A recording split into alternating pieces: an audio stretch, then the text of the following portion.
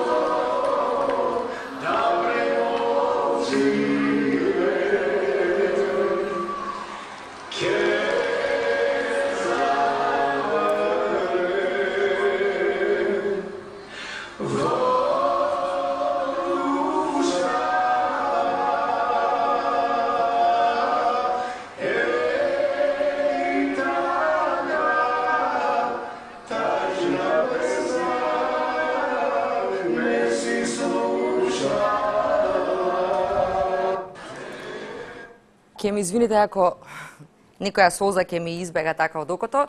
Во принцип не сакам да сум тажна, секогаш емисиите сакам да започнуваат со позитивна енергија. А, но неминовно беше а, оваа емисија да почне токму со оваа песна и замислете изведена од нашата најголема естрадна звезда Тоша првски и неговата фамилија. А, за мојот и вашиот вечерашен гостин има многу, многу различни нешта да се кажат како епитети. Јас ќе почнам од тоа дека тој е собственикот на една од најубавите, а за мене и најубавата балада од поновата продукција на фолк музиката.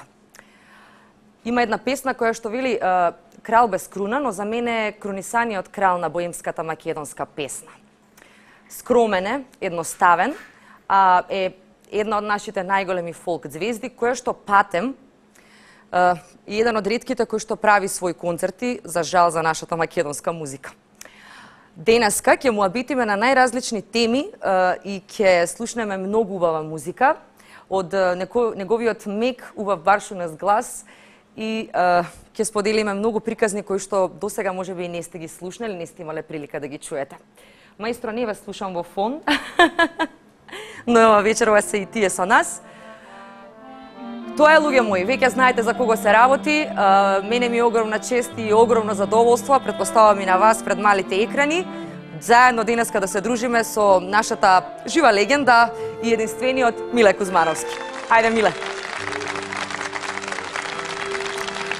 Добре ми дојде. Добро те најдов, благодарам на поканата. Ти благодарам и за убавата најава, искрено За тебе можев да зборувам уште едно 5-6 минути. Драго ми е што доаѓа од колешка. Да, јас особено ја сакам фолк да. музиката, да, иако сум да забавен пејач. Уживам кога ја слушам, уживам особено кога ти ја пееш. Благодарам. Има многу уникатни карактеристики за тебе и за твојата музика, но за тоа подоцна. Так. боемската атмосфера ти е блиска, Секако. Знаеш како и да тие работи, да се придвижиме до нашето Ајде. вечерашно место. Ајде. Ајде, повели.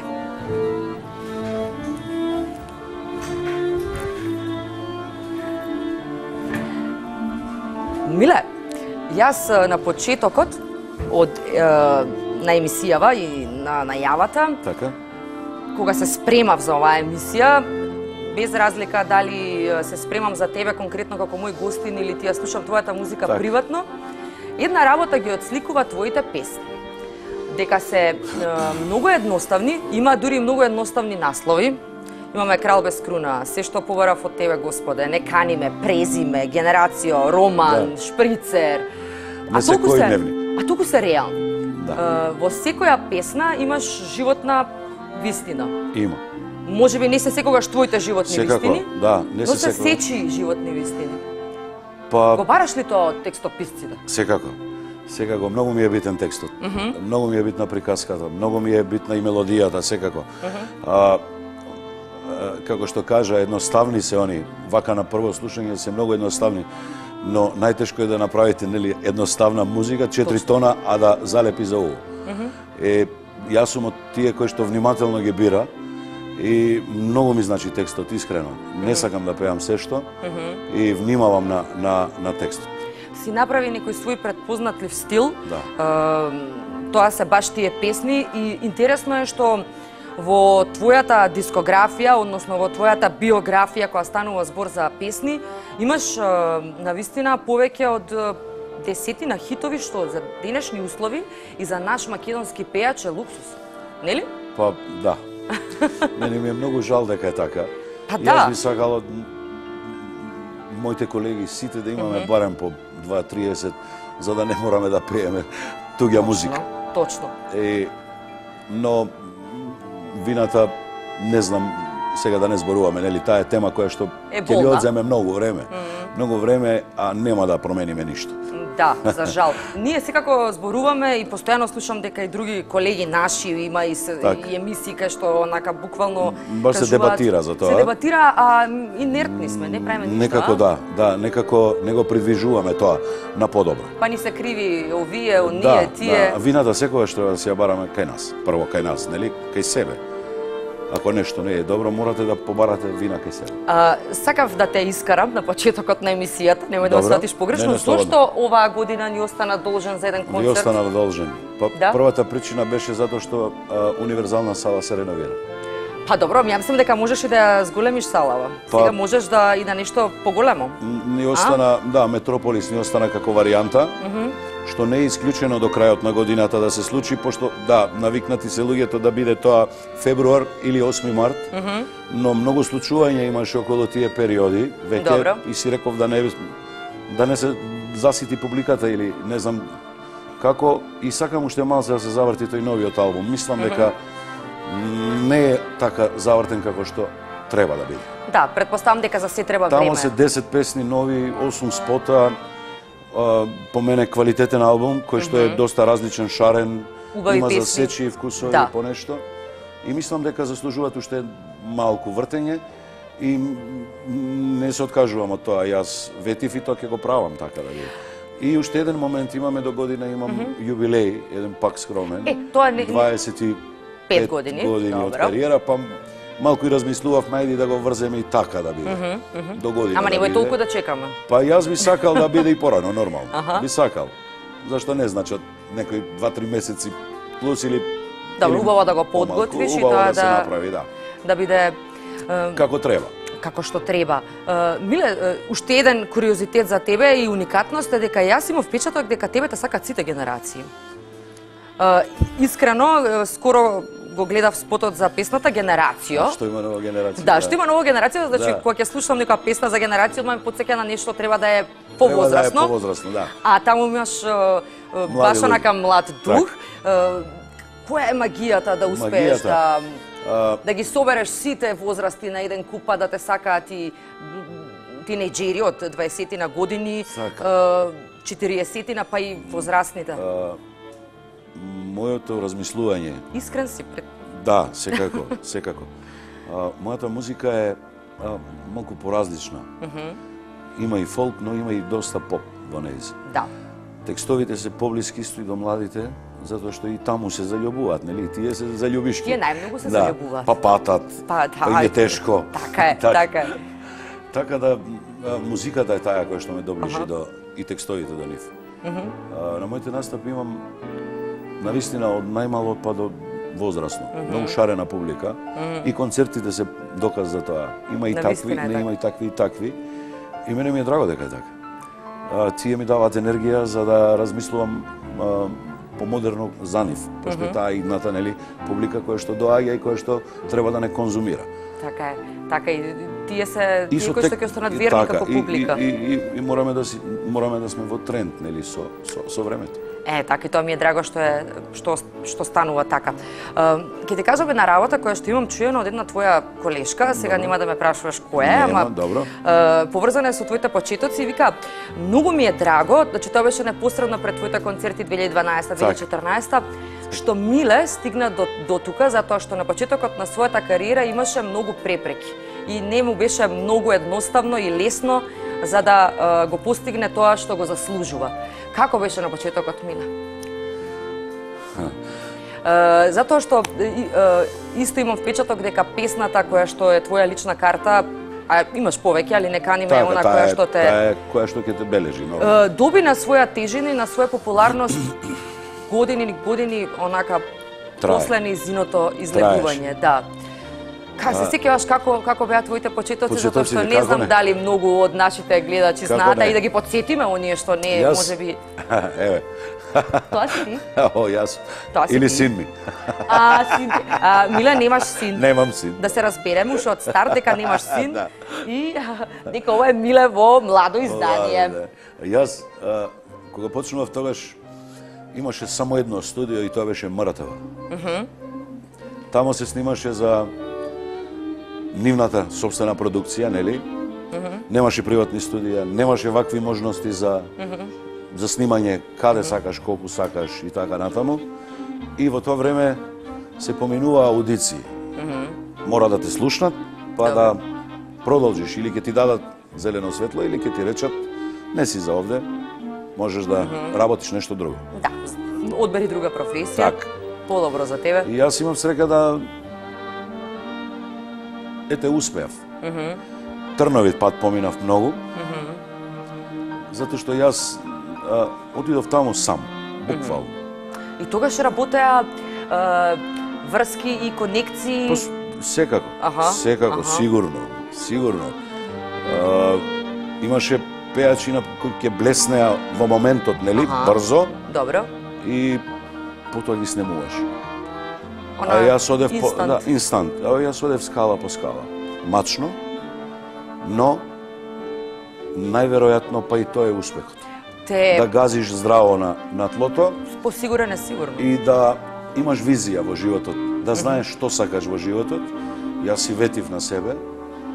Се што ќе работам во животот, дали е пеење, дали ќе имав продавница некоја, ќе се бавев со нешто, било што, дека ќе го правев со многу Труд. жар, со многу труд, со многу енергија и морам да бидам најдобар во тоа што го правам. Ти се восхитувам на твојата упорност. Миле, имаше моменти кога онака се депримираше. да, да. Викаше добро, Да. а, се сомневаше никогаш во себе? По- Никогаш во себе, но во тие другите се сомневав. а, почнав фестивали да пеам 91 моето прво крштевање фестивалско. А пред тоа, значи уште едно 2-3 години, 4 добри а, стажирање во МТО, снимање со народни инструменти прво. На вистина? Да, да, таму имаше хиерархија. Прво снимаш со народни инструменти. Аха, Па добро. потоа одиш со чалгеите, Аха. еден период, па Добро. потоа снимаш со големиот ревијален оркестар. Не можеш да ги прерипаш тие моменти. На вистина? Да, да, мораш да снимиш од, се, од секоја од секоја форма на, на, на музика.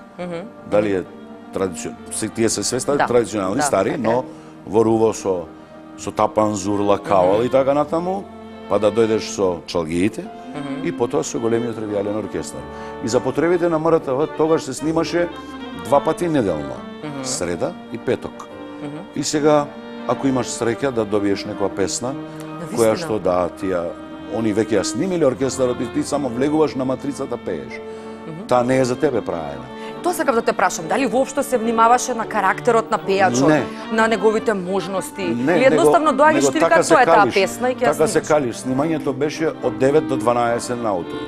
На вистина. Најтешко за пеач. А, само да им објасниме на гледачите дека пеачите се спанковци. Функционираат после 9-10 ноќ. Ето е така навечер. Тогаш е да отворено замислам. грлото, тогаш е разборен, нели, отворен си, Аха. одморен си затоа што си спиел, си бил на на работа ноќта Така е. и се си се вратил у 5 са а у 9 треба да си у студија. Аха, Не ти е добро. можам и да замислам. и тоа траеше години. Дојде 91 прво фестивалско мое крштевање. Аха. Ја памтам песната, песна која боли и на Хилми Билбил, покоен Јован Вапаловски и тој покоен сега.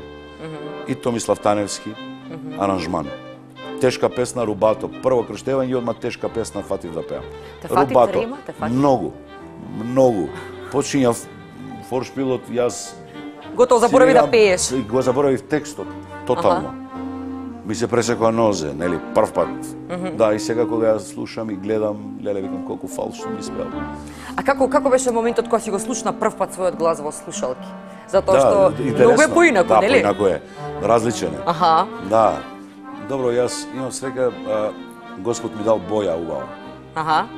И баш и господинот Тегов, кој што ги обучуваше сите водители во МРТВ, стално ми викаше, ако не продолжиш да пееш, дојди кај мене, да бидеш водител. така да Јас сигурно кажав дека пак- нас пејачите многу не бива за сите работи. Пак ќе се бавев најверојатно пак со креативна Со- работа, со јавна- нешто, јавна со јавна професија. работа. Така да патот беше тежок, навистина. А, 91 па потоа пак повторно снимање, се 93-та повторно фестивал, 94-та и почнав да се редат многу фестивали. Па За така да веројатно така беше промоцијата За да на дојде песните. 99-та година, Аха. да ми се случи не каниме. Миле, Да ја чуеме? ајде да ми се случи мене не Еве каниме да тука вака на увце. Ајде. Е, нашата драга екипа маестро е, за да ми доловат еден боемски момент, во Момент. цела во оваа емисија, би Така. сакала да дојдат да ми се придружат тука момци. Немој така исплашено да ме гледате. Значи само ќе пееме. А ако бидете добри, може и нешто ќе почастиме.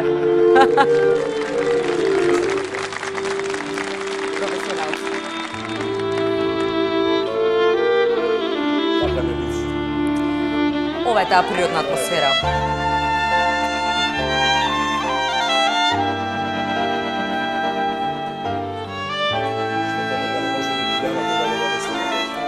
pole moje. Te slušao i pred mene A vradi srce i ne vreme. I ne znam kako će mi pomogneš Sada pobegnam od tebe i od sebe.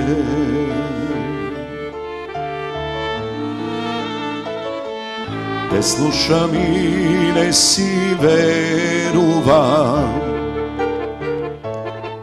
Zar možam tako da vidam jas? Da ljubam koga srce ne saka? Ko da ne nemam nikogo na Dunjava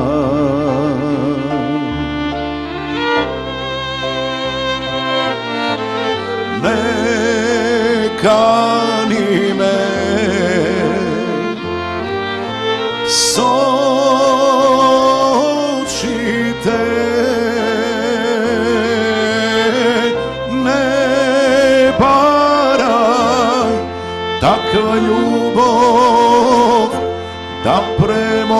nauči me Ke savrne Vodu šava. Ej takva Tažna pesna nisi slušena.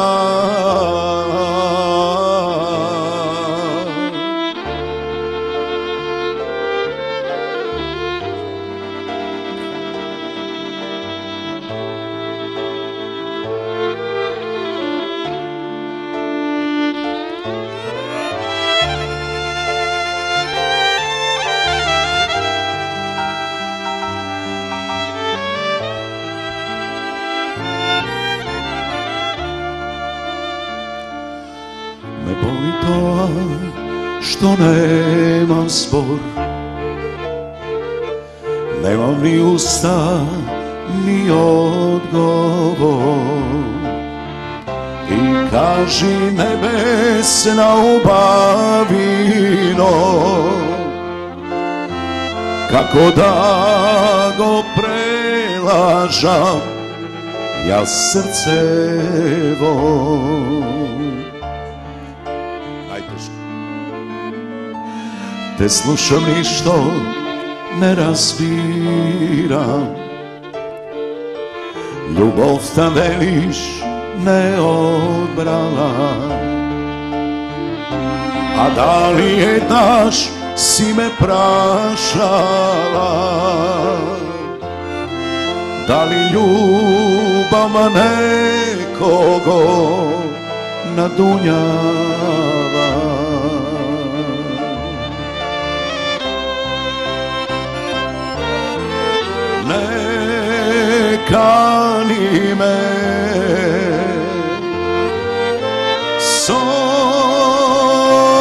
Очите не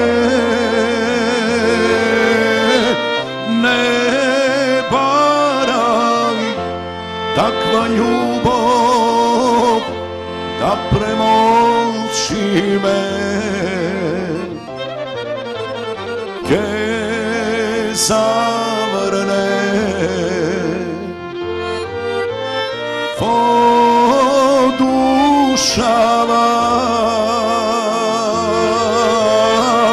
Ej, takva tašna pesna Nesi slušena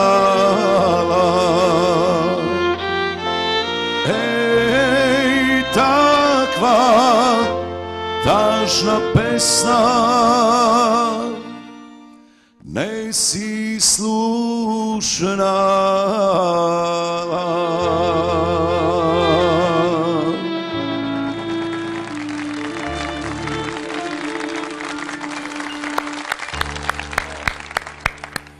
драги мои гледачи, предпоставам дека сте ми многу љубоморни на ова што јас денеска го доживеав. Миле, изведбата на Некани ме имам чуено преку милион пати од најразлични наши колеги, луѓе кои што се обидуваат да пеат, луѓе кои што сериозно пеат, а, без разлика на жанрот. Ама оваа дека е твоја некако најубаво звучи ти кога ја пееш. Ти благодарам. Дали оваа песна беше правена наменски за Да, тебе? да. Ова е наша антологиска песна. Ај малку да им откриеме на Така. на на луѓе во 99-та јас снимав во моментот за Валандово една песна исто на Орце Лазаров. И ја завршивме со снимањето во М3-ката. И ми викаат ајде да одиме до кола. Имам нешто за тебе. Мислам дека ќе ти се допадне. Добро. И влеговме во неговата кола, тогаш касетките постоеа, ја стави. Беше отсвирена само на гитара и со на на на. Нели? Отпеана. И ја слушам и викам тоа е тоа. тоа сум јас. Тоа е тоа. Му ја земав касетката и му викам ова е моја песна. И чекавме сега погоден период да помине да видиме кој да пишува текст. Во, во меѓувреме со Борче соработувавме веќе. И му викам Буки имаме една добра песна. Стои у фиока и мислам дека заслужува добар текст. Мислам дека ти ќе го направиш. Добро, дај да чујам, ма ја пуштам се во одушевина прво. Ми ко остави ми еден период малку, да ја послушам и така. И се роди нека нива. Ја напишав во еден здив. Ми кажа дека седнав и ја напишав. Од почетокот до крајот. И чинам и кај него е дома, првиот ракопис, на првиот лист, како е напишана, така е урамена. Во рамка сега. Тоа треба да се чува. Се чува, Тоа е многу чува. вредно. Он ја чува, значи почнува и ја завршува до крај. Нема корекција, нема ни точка ни запирка коригирано. Мислиш дека било потребно да се спојат звездите, Да, да, вашите да, да, патишта да, за да се, Нема се роди такво нешто? Нема ништо случајно. Борче Ричовски е нашиот многу познат текстописец. А, Го поздравуваме во овој момент. Поздрав. Јас некаде прочитав по порталите дека таа песна крие некоја убава љубовна приказна. Да, сега скоро скоро Вистина? имаше па ќе мора него да го прашате. Треба него да го прашаме, него да го прашате добро. и ќе ви открие сигурно. Аха. Јас ја слушнав како готов производ, не знаејќи чија е приказката, кому му се случило тоа, но а, мене ми се допадна веднаш.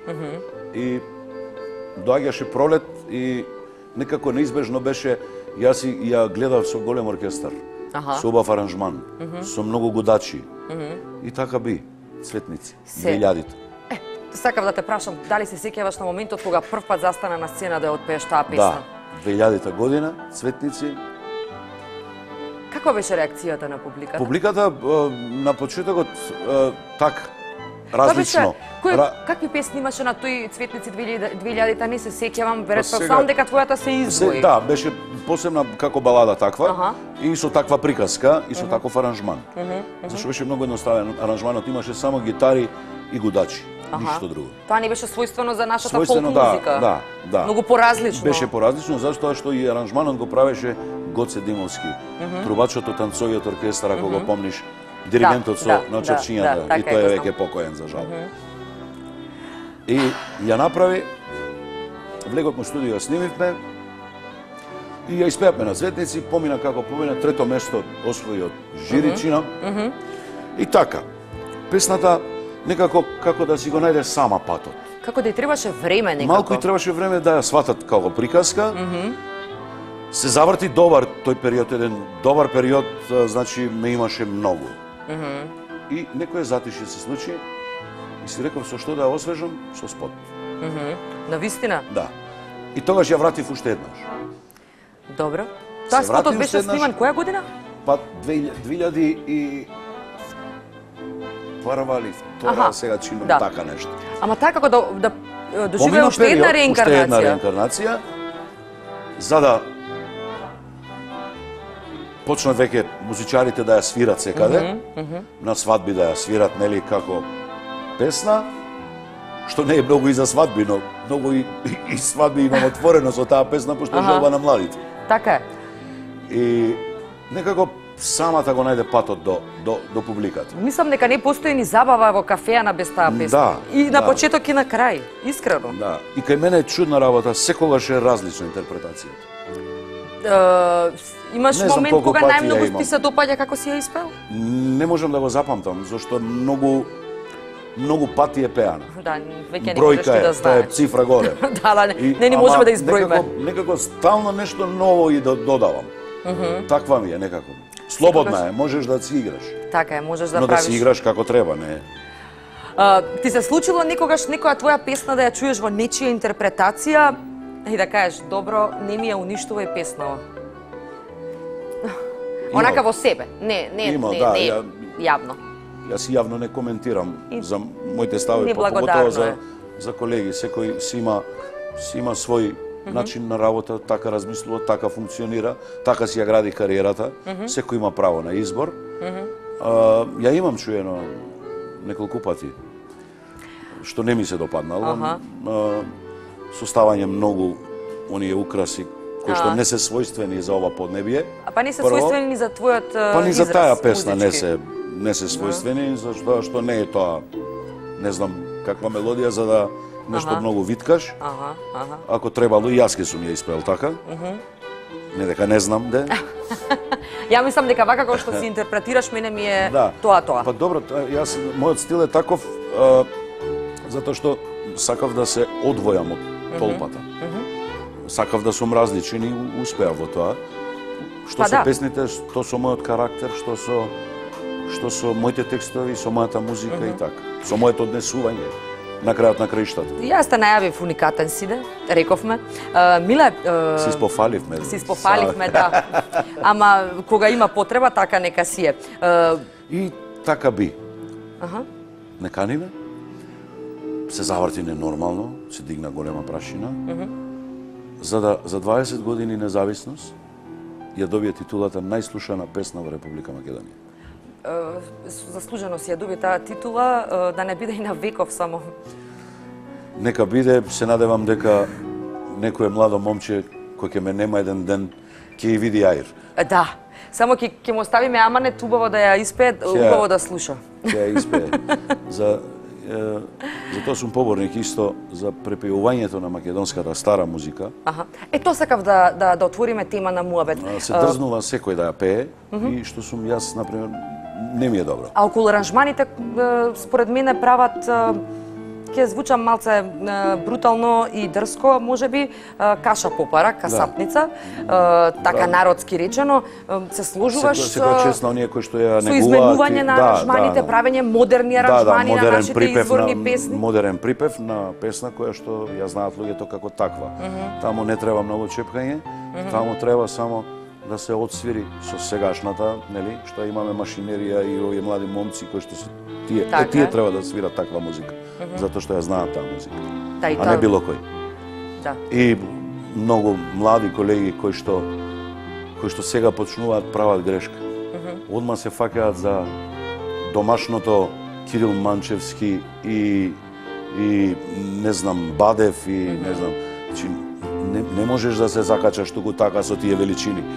Тие не се туку така таму и ден денеска ги пееме нивните Така песни. е, така е. Тоа е Јас не се дрзнав се уште. огромна Не сум се дрзнал се уште да снимив еден 10 песни кои што мислев дека мене ми лежат староградски.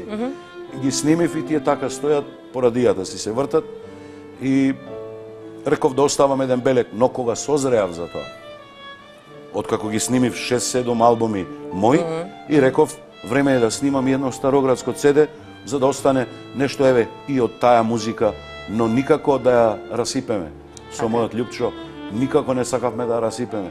Припевот е isвирен така како што е освирено 60 и некоја година, 50 и некоја година. во оригинални Така, аранжмани. така, таа е мелодијата, нема чепкање многу. Затоа што ако таа прошла и сега песна со тој припев, што би ја менувал се? Кој сум јас да менувам на крајот Да, на краишта? да, сепак е тоа нешто што не не ти припаѓа на тебе како Така како право. Така Е, Миле, е, што ни фали на нашата фолк музика? Е, На мислиш ли дека фолк музика и мислиш ли дека постои една да не речам е, Апатија? не оригиналност неоригиналност. во создавање на македонска фолк музика. Јас многу ја сакам фолк музиката, повторно да не бидам многу досадна. И особено, уште кога бев дете, слушав Валандово, песните Па од добро, Нао. генот ни е таков, нели? Да, ние- Тука сме ова е поднебието, Тоа е фолклорот. нашиот менталитет. Така е. А, зошто на моменти кога гледам наш македонски фестивал за фолк музика имам впечаток дека ние сме застанале во времето? Да.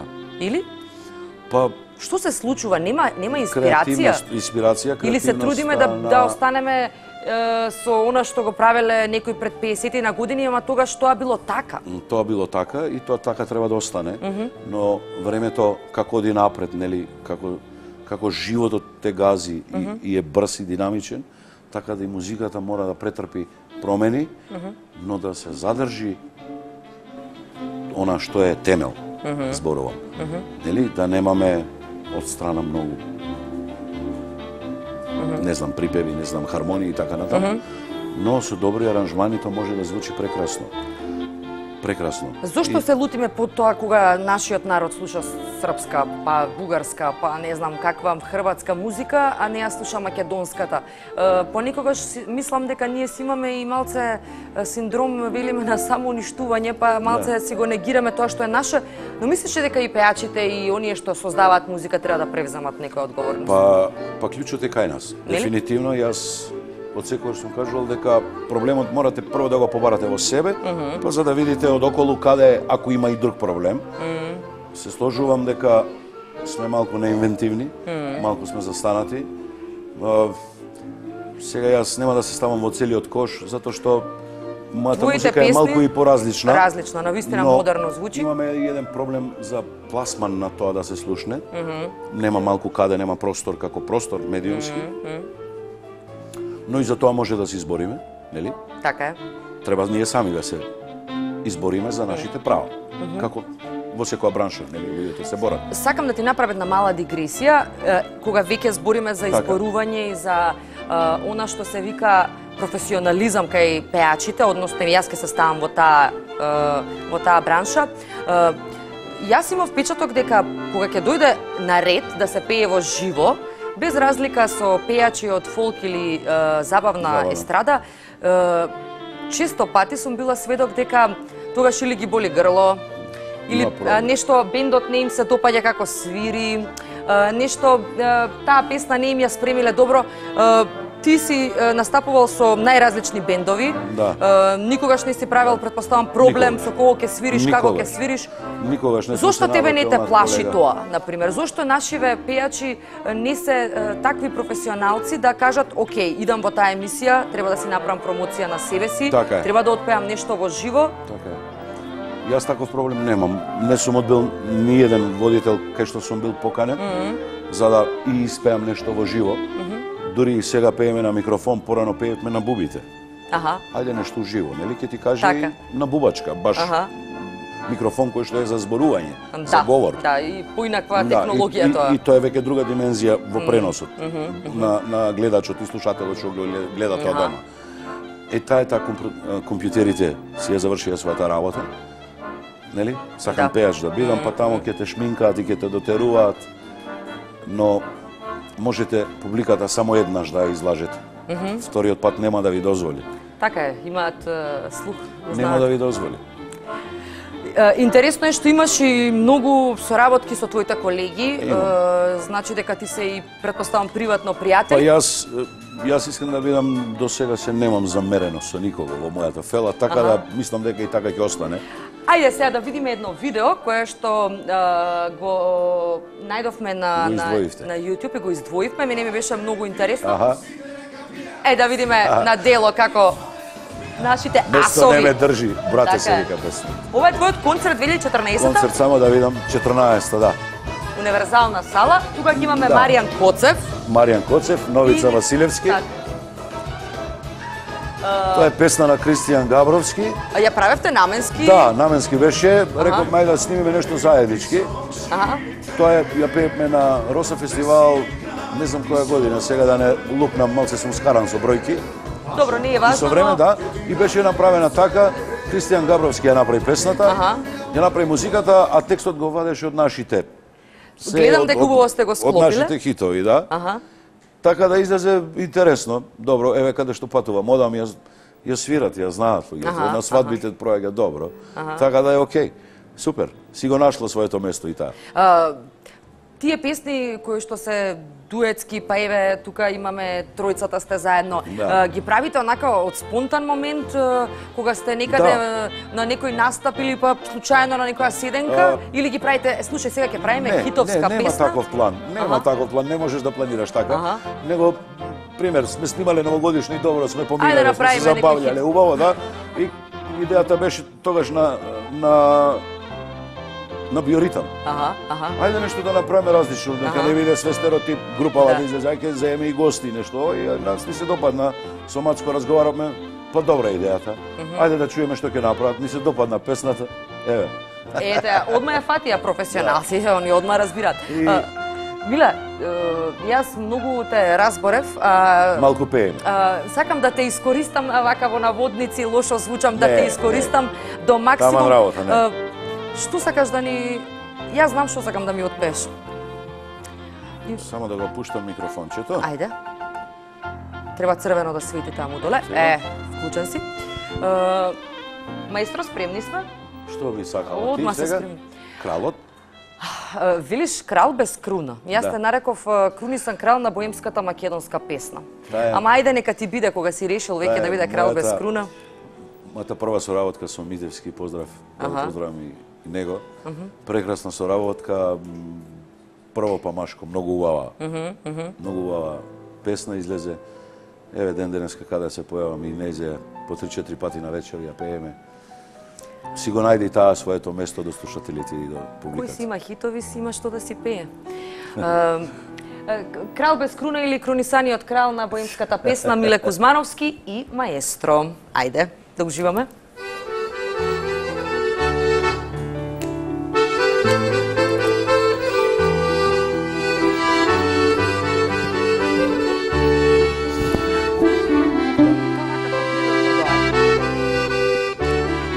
Кажи ми во четири очи и ке се помирам Не сум човек што со глава во зидот удира. Нашите кафани ке ги напуштам Сите музиканти ке ги распуштам. Што ке ми е тоа кога немам кому да се враќам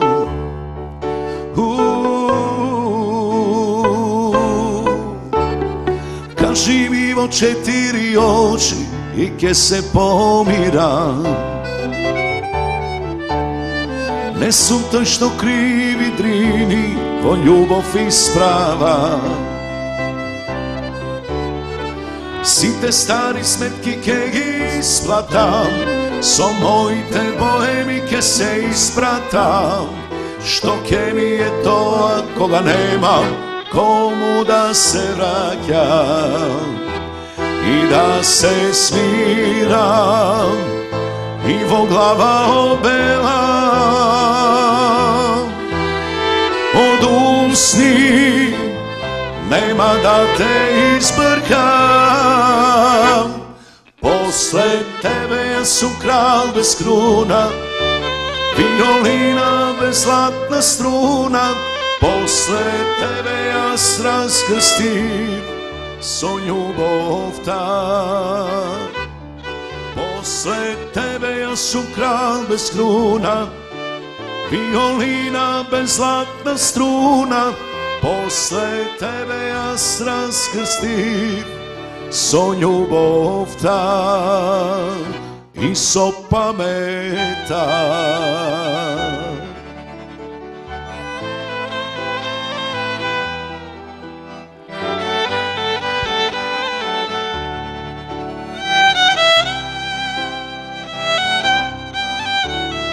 Kaži mi u četiri oči i ke se pomiram Ne прва кнедла што морам да ја голтнам. Свирачи насталне доаѓајте, таксисти мои веќе не ме чекајте. Што ке ми е тоа кога немам кому да се враќам и да се смирам и во od usti nema da te isprkam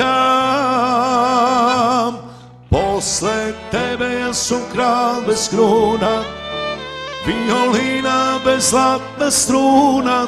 Posle tebe ja strast krsti Son ljubov ta Posle tebe ja sam kral bez kruna Виолина без златна струна После тебе јас раскрстив со љубовта и со памета. Браво, момци! Браво за убавата песна. Благодарам. Ајде да си ми Оп, жив и здрав, уште еднаш. Благодарам, пак може ќе ве викнеме спремни да бидете. Миле, имаш баш онака некоја авто, автобиографска песна? Има, Да, да погаѓам? да знаеш. А, па сега не знам дали знам, ама можам да предпоставам, а може и да сгрешам. Ајде. А, тоа е понова или по, по стара песна? Па поновите. А, поновите. Роман? Роман, да. Роман и уште една има на таа тема, ако слушаш се вика. Интересно е што текстот на оваа песна Уствари, како препознавам добар текст? Еве да си кажам јас, искрено, нели и тука како Так. лектор некој да се понашам, се извинувам на, на, на мојава мала дигресија. Кога го читав текстот, баш како да читам поезија, Так, субопарно онака. тоа е права поезија. Да. И жива вистина, вика, Так. овој живот пишува романи, а нас ни скрати толку многу страни. Дори имам сила, мила, знај, ќе го пишувам до крај. До крај. Овој живот пишува романи, за нас се само празни страни. Дор сум жив и имам глас, ја го пишувам романот за нас. Так. А, Тоа не сакам да те Да.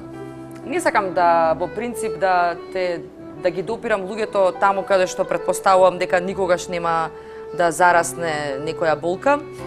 И сакам секогаш на оние кои што се некаде далеку од нас да ги паметам по убави и по позитивни нешта. Така.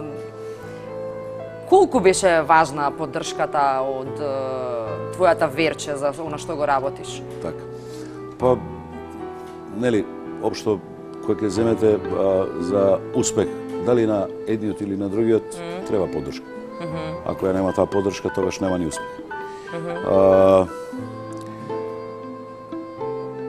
овој живот пишува романи. Да. Па не само мојот, истечи од нас овдека, сигурно има роман. Таков е. Таа е направена, ако ја видите, не не се спомнува ништо. Директно не се обраќам. Точно, не се кажуваш. Секому се случува понекоја таква приказка.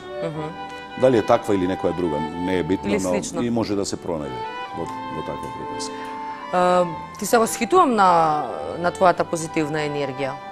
А, и на силата, буквално, па не знам, баш онака зрачиш со позитивна енергија и а, си за мене баш пример. Многу размислував шувава песна, ако сгрешам нека избор. Пепи Бавтировски.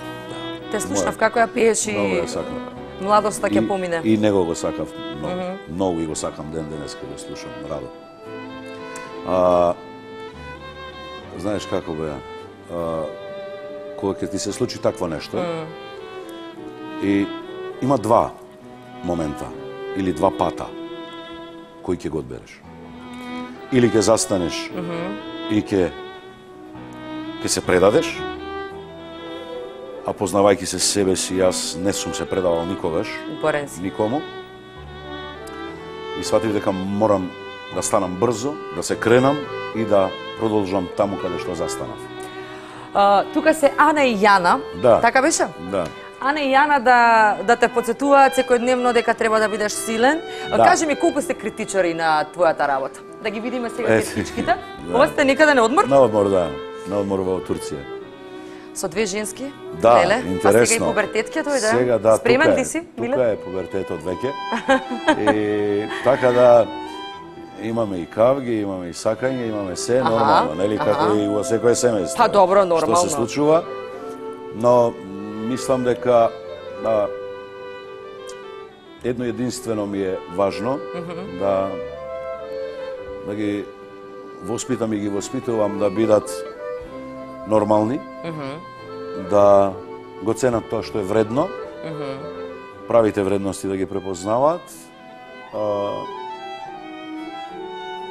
да се едуцираат, да учат, затоа што без тоа нели нема ни напредок во, во, во било кој Така е, да дел од вложуваат во животот, себе. да вложувам во себе, дека можам јас ќе вложувам, после тоа и сами ќе мораат, нели? Така е. Така да сакам да бидат здрави луѓе, здрави личности. Со свој карактер, со своји особини и така. Миле Да доаѓаат своји. доаѓаат на твоите концерти, те критикуваат, знаат Да. кажат тато ова, Да. како го отпеа. Се уште такви критичарки не се, Аха, аха. но знаат да ми кажат, тата, не ти оди ова сега, ова, стави нешто друго тука. Аха, добро. Да. Тоа допрва ти следи да, Да, знаеш. тоа ми следи, знам. И треба да бидеш благодарен супер, дека да, ги имаш. Супер, супер, ке имам модно жири по дома. Ете така, ние ги поздравуваме Ана и Јана. Да, поздрави. Е, ако нешто им мрчиш многу и си строг, Да, ми се да, јават да, да, слободно, да. одма ќе направиме пресинг. Како и да е, нека ти се живи и здрави. Фала. Имаат Фала. потенцијал да се занимаваат со музика? А, Покажуваат некој афинитет? И, има, да, има, но јас ништо не форсирам. Ако имаат желба, јас ќе бидам тука да им помогнам, но мислам дека и нема да им бидам многу од помош, затоа што мислам дека секој сам треба да Да си го одреди тоа што сака да го работи. Да го искуси, јас можам од аспект на да им помогнам со моите познанства, пријателства, музичари, е, студија и така натаму, но она другото ќе мораат сами. Затоа што и мене никој не ми покажал ништо, Така е. некаде ќе се изгорите, некаде ќе подувате и во јогуртот и така, но тоа е се школа. Многу е битно да ги научите лекциите. Миле, зборувавме за песната Роман, ја прочитав како не знам, се Како потрудив текст. да бидам како актерка Да, малку. да. Не знам дали беше тоа позитивно, но може ли да ја чуеме како тоа е преточена во ноти? Може во, во еден дел, да.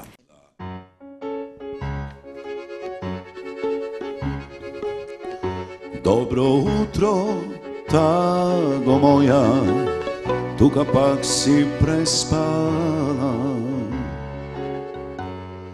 Pa imaš li kutja svoja? Ajde odi bez straga, I pušti me prokletnice Da zaspija. Da možam ne ja povtornom aia sono van Ovoj život pišu varomani A nas ni skrati toliko mnogo strani Doriman sila mila znaj Tjego pišu van do kraj. Ovoj život pišu varomani Zad nas se samo, samo prazni strani Dun sum živ i imam glas. Kjego pišu vam roman za nas Dun sum živ i imam glas. Kjego pišu vam romanos за нас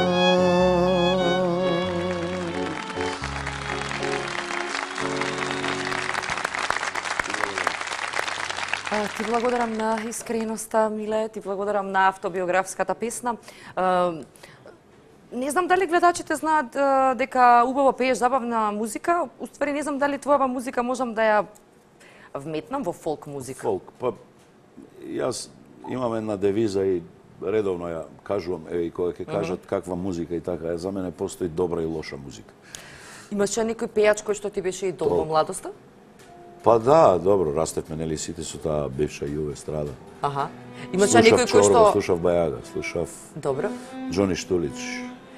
Се случуваше онака дома на плоча или на касетофон да седиш и по 10 пати да, Да, враќаш некоја да, песни, да, да, сакаш да. нешто да да изимитираш? Да. Имаш своја уникатна имам, Боја? појава и Појава боја и и, боја. и, не знам израз како Така. музицирање, но дали имаше некој кој што онака го го го пратеше или сакаше да наликуваш на него? Јас слушав многу Чорба. затоа Бора што- Чорба? Да, пак текстовите ме фатија. Текстовите му се многу специфични. Уште од тоа време, па како и навамо одминува. Сакам убав текст, сакам приказка. Сакам зборче кој што ќе ме фати. Сакаш многу комплицирање и патетика во песните? Не, не. Не, па и можда ми ме почувствува кога разговаравме околу оној дел од животот. А, не сакам веќе да звучам и патетично, затоа што сум борец и не сакам никој да ме сожалува.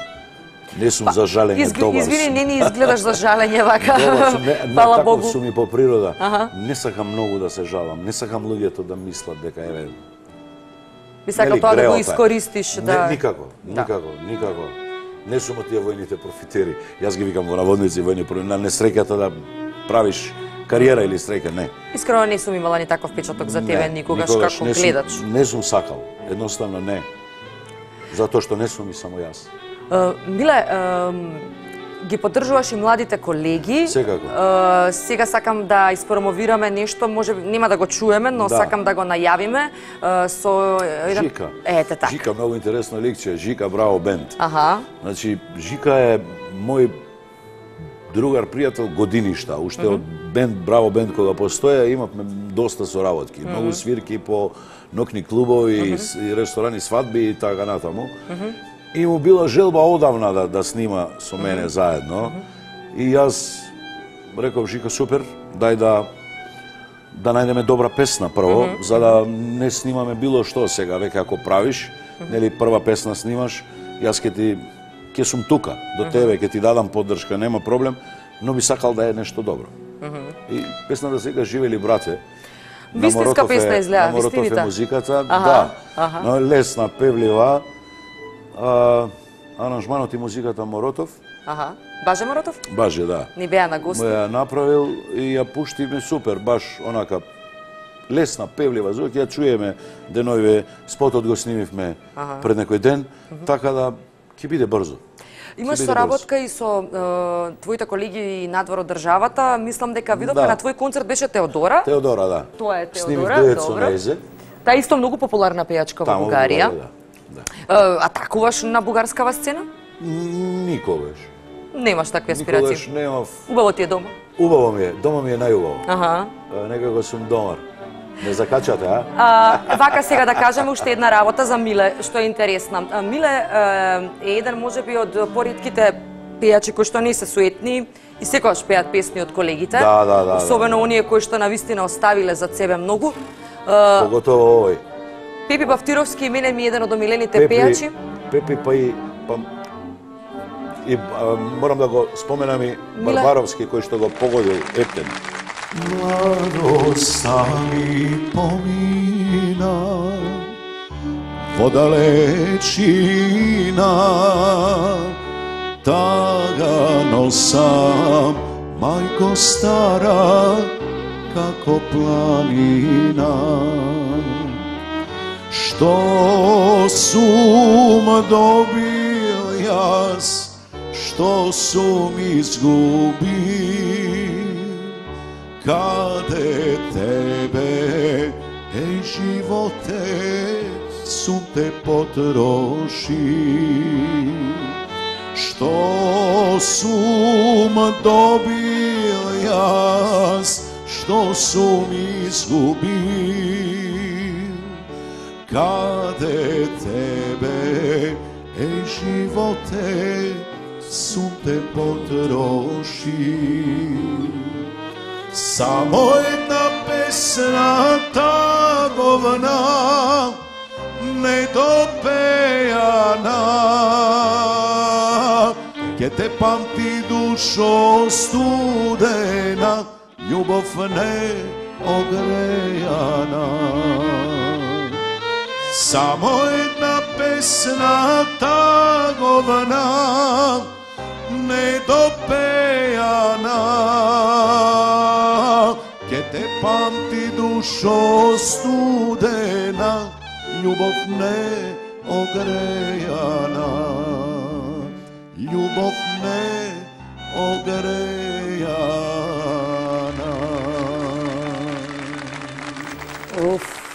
Убава песна, колку тежок текст. Многу. Многу, значи човекот испеа песни многу убави. Имаше прилика Многу. да, да го запознаеш? Да, да. А, Како изгледаше таа дружба? имав среќа да да запознаме на таква величина. Јас тогаш почнував он кога беше веќе многу голема звезда. Многу. И ме засака едноставно. И ме носеше по сите негови настапи. Изгледаше многу Го скромно. памтам, го памтам возеше БМВ, Аха. БМВ така едно зеленкасто бојче, уште тоа време, тројче. И ке ми се јавеше, ајде одиме денеска, сме, што знам, прилеп, утре сме битола и така. Па јас му бев као предгрупа нормално на големиот. И ми беше чест и задоволство да гостувам со него пред многу народ. И гледаш каква величина, како го почитуваат, како го респектираат. Ти даваше по некој совет?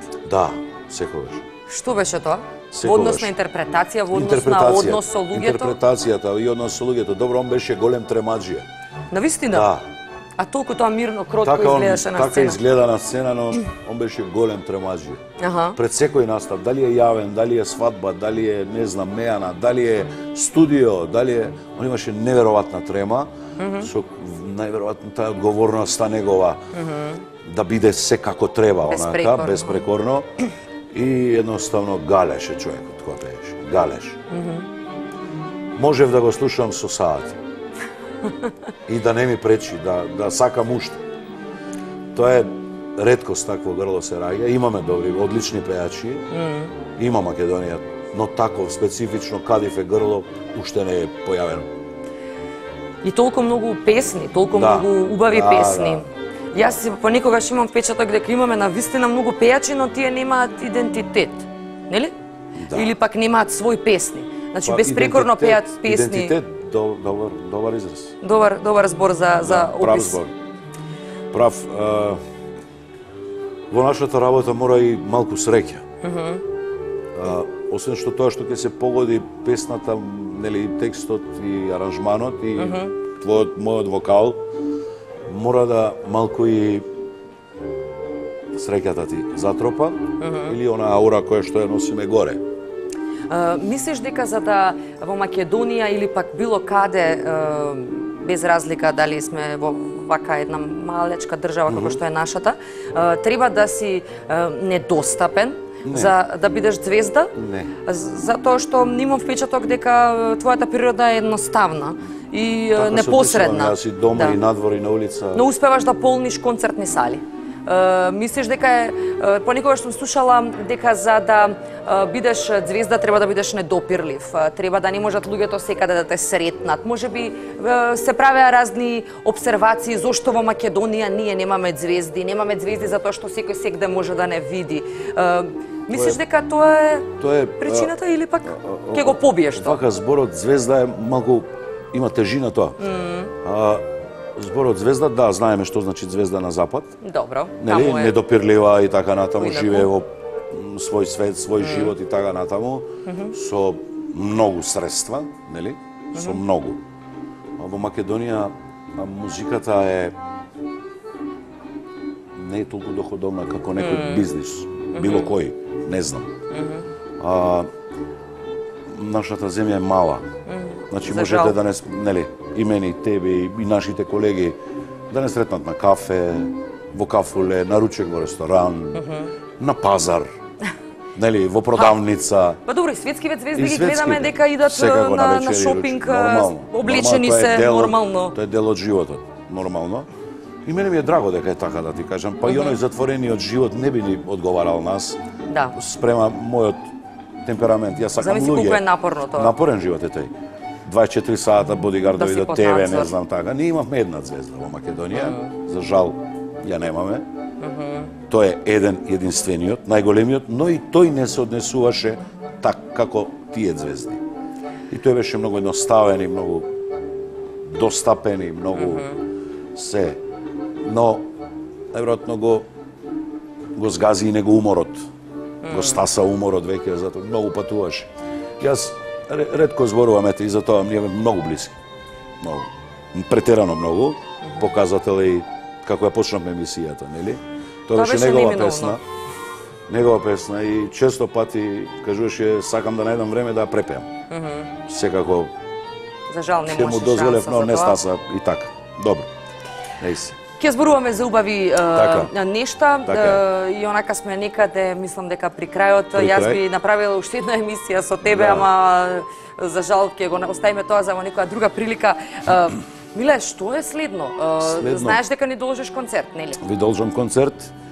А, следно дуетот со Жика сега што го снимивме Тоа го Бенд. најавивме, да. Уште една песна сега треба овој месец најскоро време да влезам, готова е при крај да ја снимам. Пролетва да излезе. Ќе патуваш некаде можеби далеко на турнија или? Имав преговори, преговори за европска турнеја. Се работи за Словенија, Хрватска, Австрија, Италија. О, Треба тој Голема турнеја. Да. 4-5 концерти во едно ден и при крајот на годината уште едно. Таков е планот, па ќе видиме што ќе излезе. А, Ќе се реализира или не, ќе видиме. Обврските други, нели, оние тековните, животот си тече. А, собираме материјал, лани го снимивме, нели, албумот, снимивме 8 нови, нови спотови, нека се вртат, нека малку да ги потрошиме нив, за да дојде универзално. Јас би сакал да Јас посакувам поголема сала. Ајде, јас исто бев на размисла да биде тоа Метрополис. Но ќе мора некако таа да адаптираме за мојата музика. Да има дел, ајде за стоење помладите ќе стојат, ама оние малку повозрастните би требало да се знаеш, седнати у партер. Сепак ќе ги почитуваме Ќе годините. ги почитуваме сите години, па ќе мора тоа да се изорганизира добро и што е окей. Добра е салата, може да се направи и таму. Јас те поддржувам, секако ќе дојдам да во првите редови да, да, да уживам во твојата музика. А, може нешто да ни напишеш а, позади тебе? Да. Можеш и некој стих од твоја, твоите песни? Нешто што ти е тебе драго? Па не, ние цело време разговаравме околу, нели, каков сум јас по природа. Дека сум многу упорен. Аха. Понекогаш и досадно упорен. Но, Тоа се исплати? да, секогаш. И велам дека упорноста ги прати храбрите и силните. Аха, така е. Секогаш на крајот ќе излезе тоа што треба, оно, односно целта ќе биде постигната. У- Упорноста е, уствари, карактеристика на успешните. Се си кажа, Миле. Се си кажа. Јас само сакам да ти се заблагодарам уште еднаш за твојата искреност, да ти се заблагодарам за твојата едноставност, а, за искрените песни, за а, вистините кои што ги пееш во песните, за а, убавата музика и а, ни должиш не еден ко- концерт, него А повеќе. јас би сакал не само јас и моите колеги Ги е, поддржуваме Ги сите. поддржувам, сакам да има македонска музика затоа што мене лично ми недостасува. Многу вложуваме во во во песните и во во снимањето Енергија и финансии. и енергија и финансии и гревото е да така стојат по дома нели никој да не ги примети И да не ги слуша, а, да се ги и слушаме да не по ги дома. слушаме да по дома него баш да ги да ги обнародиме Е, имаше Прво една... да ти се заблагодарам Аха, и добро. јас тебе на поканата Ја одма избрзав да те И натерам ми- да пееш. а пак да пееме ќе пееме добро Ќе пееш, прво ќе ни напишеш, па ќе пееш, ама еве за благодари ми се. Добро, морам да кажам дека е поразлична емисија од онаму кај што сум гостувал и ми е драго дека има една ваква урбана приказка. А, ти се дел од таа урбана приказка, ние е, И ќе сме ви посагам уште многу, многу сезони да обстојувате и постоите. Дај Боже, е, Миле, е, драго ми е што беше дел од нашата урбана приказна која што се вели улица Македонија, затоа што е, си навистина заслужен за она што го правиш во Македонија, за Македонија и за сите нас. Ем, Имаше една песна вели се што побарав од тебе Господе. Господе, така ние ќе побараме многу здравје и љубов и среќа, пари не бараме, ќе си ги направиме бе. Се прават. Упорни сме. Се прават, упорни сме со многу работа, со многу труд и тие се прават, но мене ми исполнува е ова повеќе. Ајде, е, Секогаш парите не се битни. Не се најважни, тие се само за да технички го издржиме животов, она што е најважно е Средство здравје. за малите задоволства. Така, е, остави ни некој трак таму позади Сега тебе. оставам. И е, сакаме да ја чуеме се што побарав од тебе, Господе, е, ќе имаме таа уникатна можност. Е, драги мои, јас А ќе да се оставам е, каде сакаш, само малку. Па О, ти си висок, па можеш и овде. Така. Да Драги мои луѓе, јас имав таа особена привилегија таков човек како што е Миле Кузмановски да ги изведе своите најубави антологиски песни во живо и тоа толку блиску до мене. Предпоставувам дека уживавте и вие, сигурна сум дека уживавте. Што да ви кажам? Слушнете го она што го подготви за крај Миле Кузмановски, а до следното издание на улица Македонија останете ми живи, здрави, срекни, весели и се најубаво. На здравје.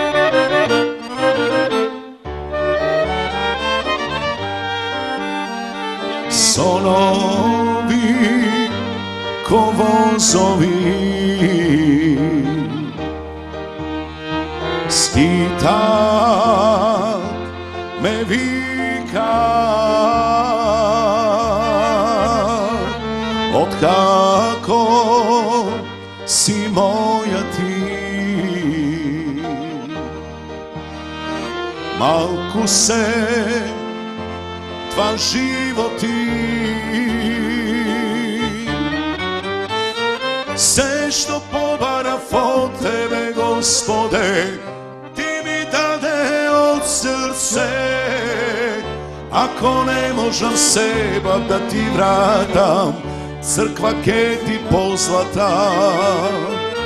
Се што побарав од Тебе, Господе, Тие очи за мене, ке Ти бидам слуга, дори можам, сакам да се одолжам.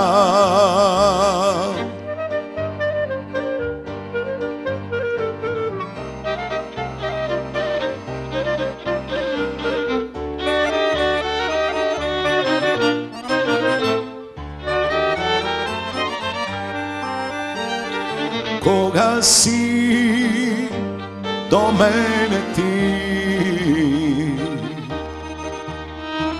Žive ja, veruvaj mi. Ljubov ta e Biblija Knjiga ne dočitana